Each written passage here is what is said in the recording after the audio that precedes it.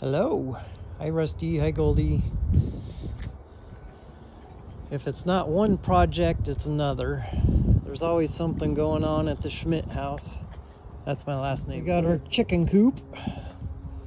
And we got these free boards.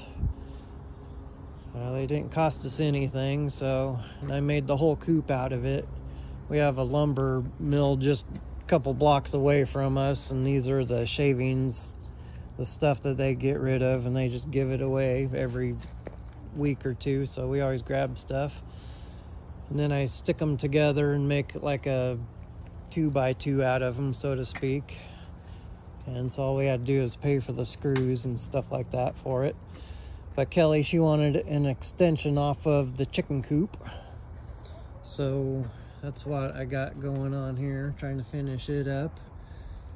And uh, and then this was a dog house that Kelly, she's like, can you turn that into a chicken coop? The dogs never used it anyway. So I had a, a pallet that I built just a simple dog house on. And then I punched out the sides and I put these on. Then I put a little window up there to help vent it and an access board there. And uh, this is how we check our eggs. That's their little nesting boxes inside there. The side opens to also. And uh,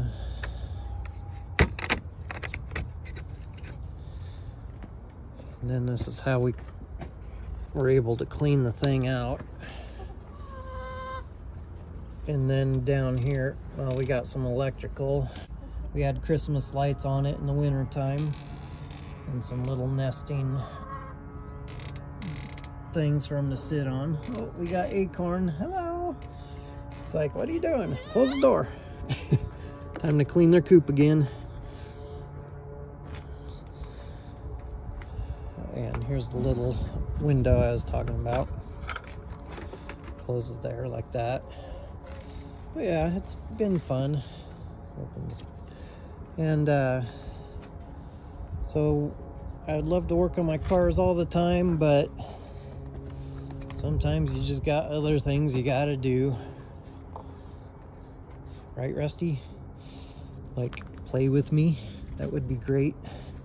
Go get it. okay. Well, let's get this done. I have a duster to build and a chicken coop to build.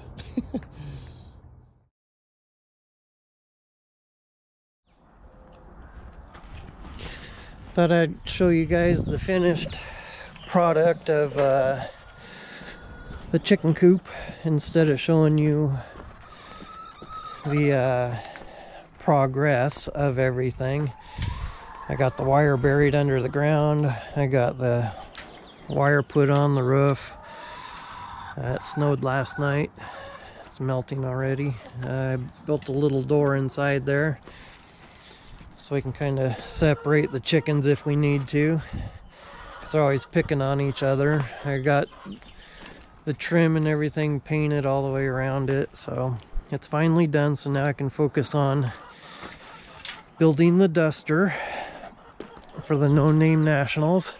Now, if you're wondering what the Omega M for Mopar is on there, I turned 50 uh, about a week ago, and Kelly wanted to decorate um, for me for the party, and so I she wanted it to be a surprise, but she couldn't quite do it, so she told me what she wanted to do, and because uh, we had a campfire right over here a fire pit and uh, we had this all lit up with the Christmas lights on it. I'll show a quick little segment of what it looked like.